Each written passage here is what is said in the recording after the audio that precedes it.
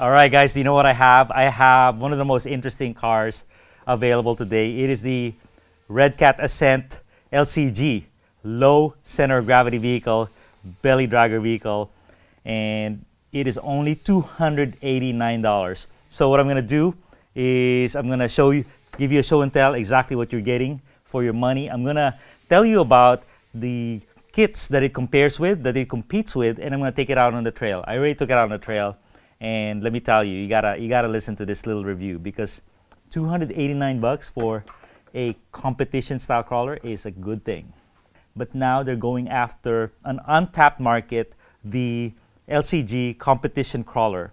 Uh, what's out there is the one from Axial, the the comp uh, competition pro, comp pro, I think, and that one is expensive, 430 bucks with, for just the chassis. So this one, 289, is is crazy. All right, what's really cool, aside from the price, is it comes in two body styles. Uh, this one is the blue and the red. They're not only different color, but they're different in in functionality. That one is more scale.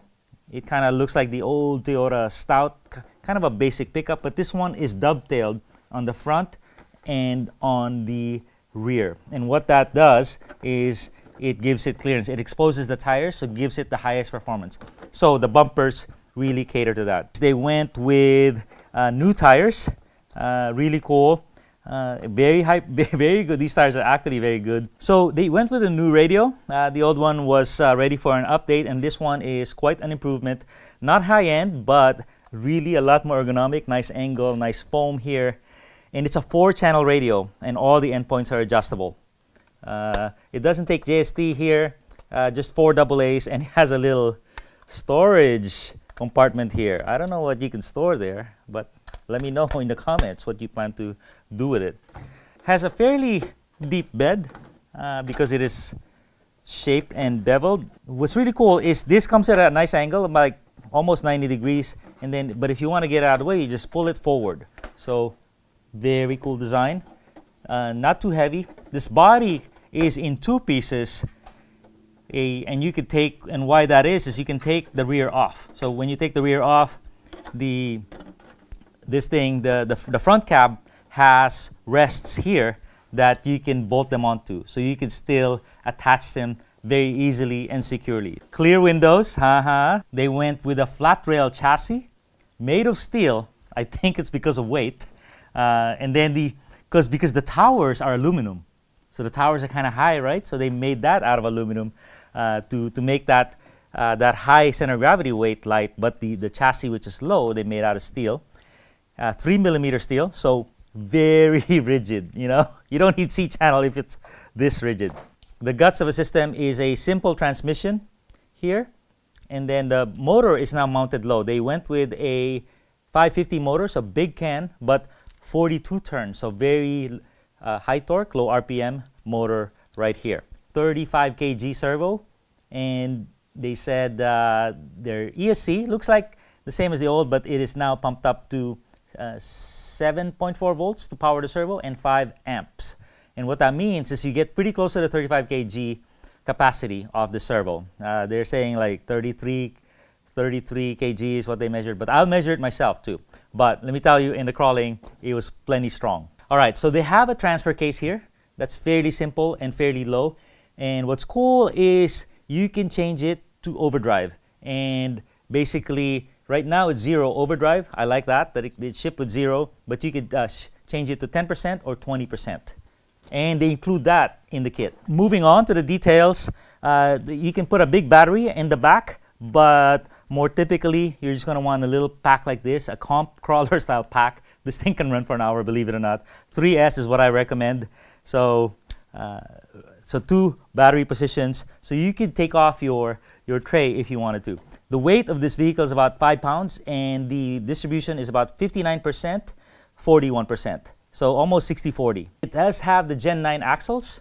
So steering is is pretty good, especially on the right turn. On the downside, it's still looking like the old axle portal and a, a little sharp. But what that means is all the upgrades for your Gen 9, uh, maybe you have them in your, your bin already, are compatible with this. And man, nothing like a brass portal axle cover to get all that weight down. High clearance links in the front, uh, but when it was shipped, they were not aligned properly. And I've seen three other people uh, with this kit, and basically the high clearance links, uh, instead of going like this, they were going like this. And the reason was it does touch the drive shaft a little bit. So I think in the first few shipments, until they figure it out, they're, they're, they're shipping it to away from the drive shaft.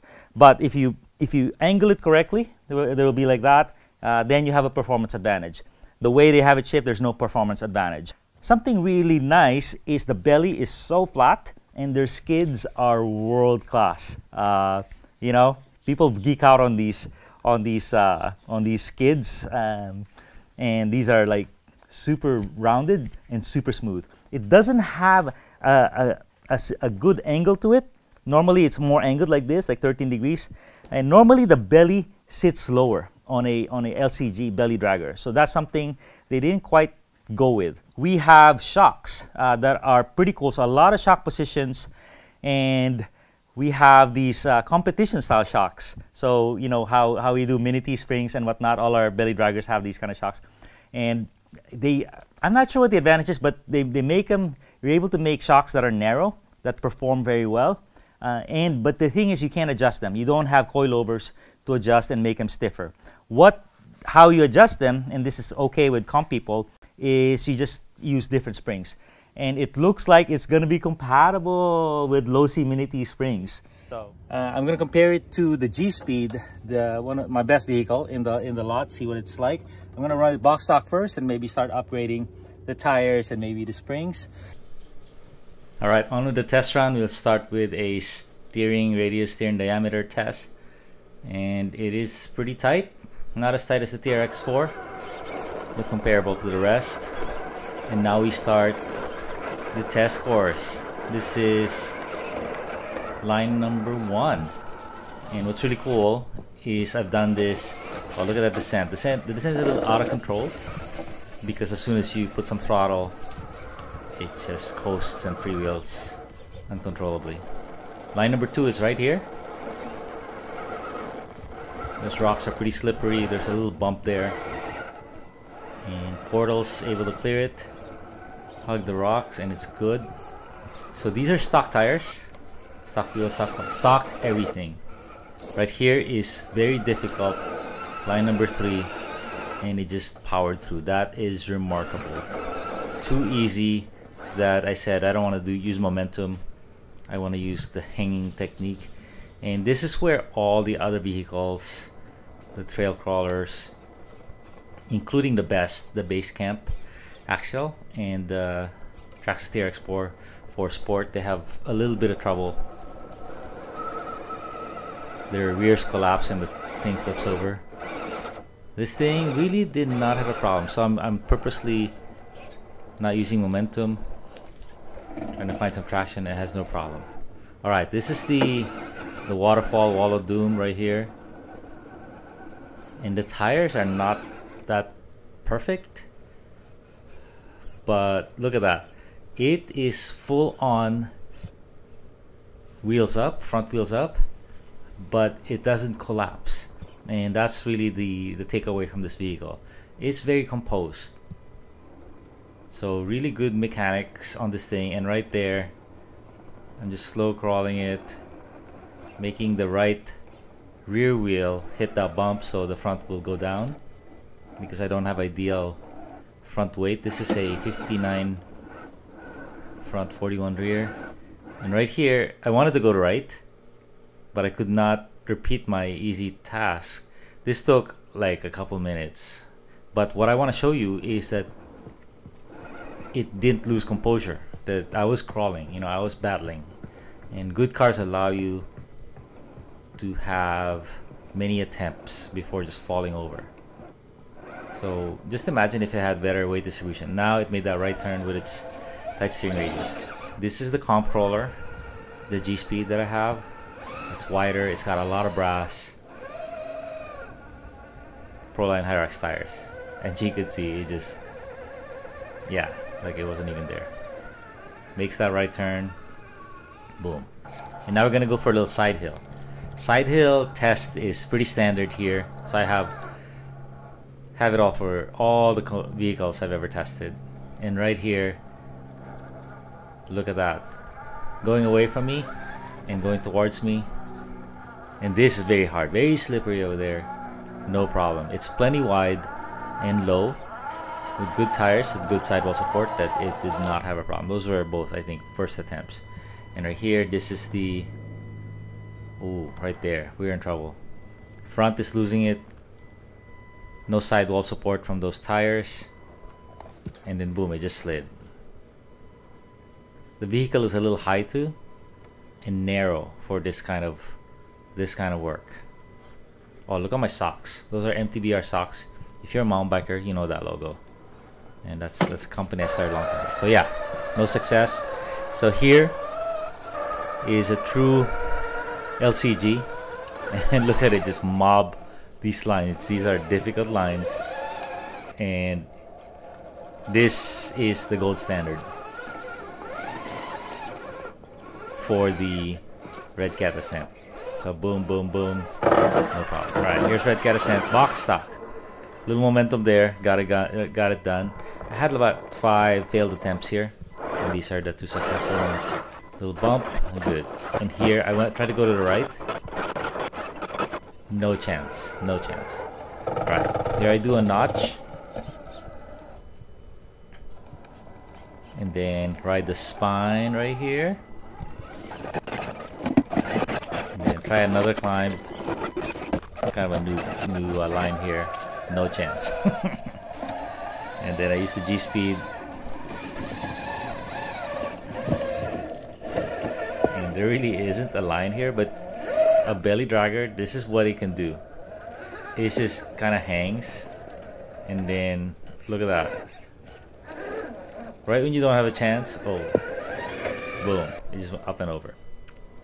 Alright, this is the scraggly spine that we usually do.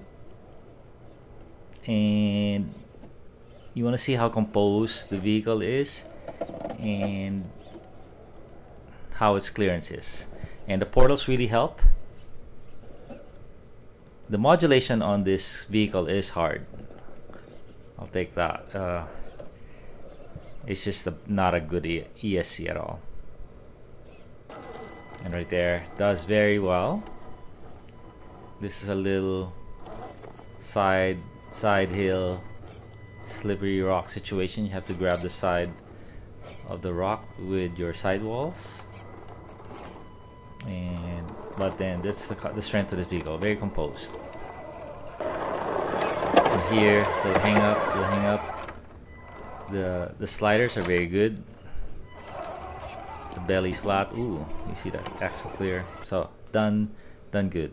So this is a demonstration of what a LCG can really do.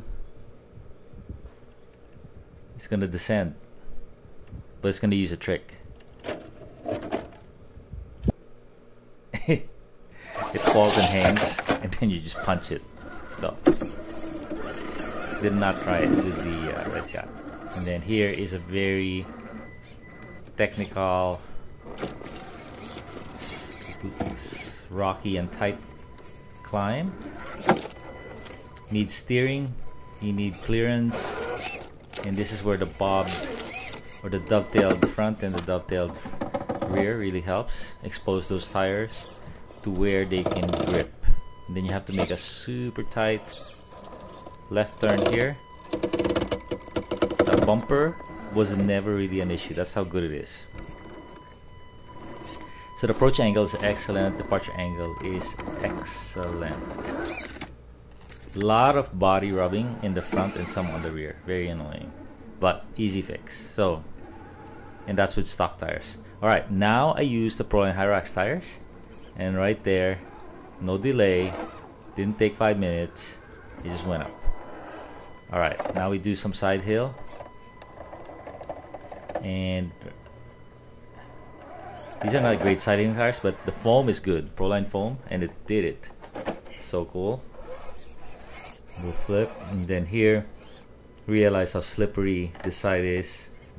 And this this vehicle is a little narrow and a little bit high compared to the belly driver and it didn't have much of a chance. I tried like 10 times And then here, I'm gonna try the, the right line. So I failed like five times, but I said, hey, it looks good. Sometimes you could see if you have a good chance of success right there. Especially when it's settled, it's not flipping over. All right, finally, let's do pros and cons. The pros, number one is it's the right kit for the right time. You know, people are looking for performance, but no one wants to spend a thousand bucks figuring out what parts to do for a low CG. Even the Axial competition uh, chassis is expensive. It's going to be 800 bucks by the time you're done with a $430 chassis. So here, 289 or 290, you're ready to run. And the number two is I alluded to is the price. The price is incredible. Uh, 290. Uh, if I had a friend that was looking to to get started crawling, I would recommend this. You know, the fact that they have a new radio, very good. Now this radio is better than the competition, than the Traxxas or the Axial, uh, or even the, the Element RC. So I'm very happy uh, with this radio so far. Another plus is the shocks. The shocks are quite good. A really cool detail that they put in the shocks is they put a negative spring. So check this out. So that's the shock at rest, right? I'm gonna pull it, and there's another five or eight mil of travel that's in there. Um, so the, the negative spring pulls it forward, so at to the 80% level. So what that does is ride height. The fact that they have a removable uh, uh, bed is good because you can you can make it you can make it a vehicle lighter while optimizing your weight distribution. In fact, you can remove some other parts here. You can remove this battery tray. You don't want that there use that too much anyway. And you could use some, we could remove this little structure here uh, and even these, these body mounts, right? The tires are good too. So bunch of pluses on this vehicle, these bumpers, some of the best in class because they are not only out of the way, you expect them to, to hit something and then they're just going to slide off. All right, what's not good? Number one not good thing is the ESC. So the ESC is very jerky. It seems similar to what you see on, on bashers. So another con is the springs seem rather hard. So look at that. It doesn't sag. It doesn't sit. Okay. Uh, in fact, a lot of our belly draggers uh, have really soft springs or no springs. You just boom, go like that, and that's when you get the real performance. All right. Another con is the the it's not bead locks, and the foam is really not supported. Look at look how Look how look how loosey goosey that is. I had I had a very tough time side healing. Okay, another con is it is rather narrow. Uh, it would it would help uh, the LCG world if you were wider. And the last con I will say is it was shipped rather high. So we moved the, the rear shock position from here to here. It would not sag at all, not, not even a millimeter. So when we do this, it moves a little bit, especially when the body's on. But a con on the, on the front is you, we want to lower the front a little bit, but it's already at the max position. So it'd be good if it was shipped in the middle position and you can move it around, but there's no way to lower the front anymore. I'm, I, my mind's kind of blown right now because it performs so well. I think it's better than the Basecamp or the TRX4. Uh, and, but there's so much potential, you know? You know, no weights. Even with my comp tires, these have no weights whatsoever. So you're, you're getting this and it's, it's still riding high. So an amazing vehicle for 290 and so much modding potential uh, on this one. All right, thanks a ton.